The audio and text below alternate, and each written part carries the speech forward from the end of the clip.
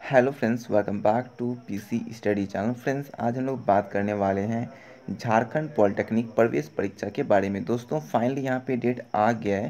तो यहाँ पे देख सकते हो, ये जो है 19 तारीख का नोटिस है। ठीक है? तो यहाँ पे फॉर्म फिलअप स्टार्ट हो गया आज से ही। तो सर मैं आपको डिटेल में बताता हूँ तो ये नोटिस उन्नीस को आया हुआ है। और यहाँ पे फॉर्म जो स्टार्टिंग डेट है वो इक्कीस से है, आज से ही है। तो आज से फॉर्म भर सकते हो 21 फरवरी से और लास्ट डेट जो है 21 मार्च है, ठीक है? 21 मार्च तक आप फॉर्म भर सकते हो।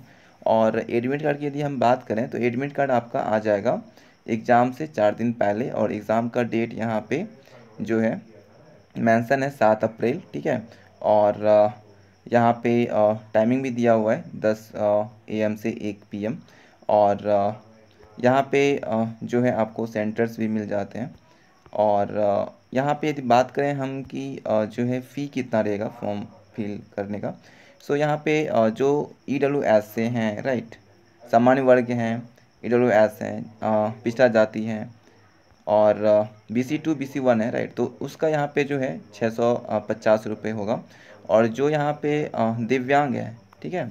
डिसेबल पर्सन है, उसके लिए यहाँ पे तीन सौ पच्चीस होगा और ये जो है नॉन रिफंडेबल है, इसको ध्यान रखना है। और यहाँ पे मैं थोड़ा सा मिस हो गया, मैं फिर से बताता हूँ। यहाँ पे दिव्यांग के लिए डिसेबल के लिए कोई भी फ़ी नहीं है। अनुसूचित जाति, अनुसूचित जनजाति और महिला के लिए तीन सौ पच्चीस रुपीज़ है। और सामान्य वर्ग और ई डब्ल्यू एस के लिए और B C one B C two के लिए यहाँ पे छः सौ पचास है। और ये जो है नॉन रिफंडेबल है, ध्यान रखना, पैसा वापस नहीं होगा। और आपको फॉर्म भरने के लिए जो है यहाँ पे जाना होगा इसके ऑफिशियल वेबसाइट पे और यदि आपको फॉर्म फिल कराना है तो आप यहाँ से भी करा सकते हो, ऑनलाइन फॉर्म फिल हो जाएगी आपकी, ठीक है? और और यहाँ पे कुछ डिटेल है, आपकी जो एग्ज़ाम होगी वो आर बेस्ड होगी, ठीक है? यहाँ पे दिया हुआ ऑफलाइन एग्ज़ाम होती है, ठीक है? और और कुछ इसमें ज़्यादा है नहीं, आप मल्टीपल चॉइस क्वेश्चंस होंगे यहाँ पे, ठीक है?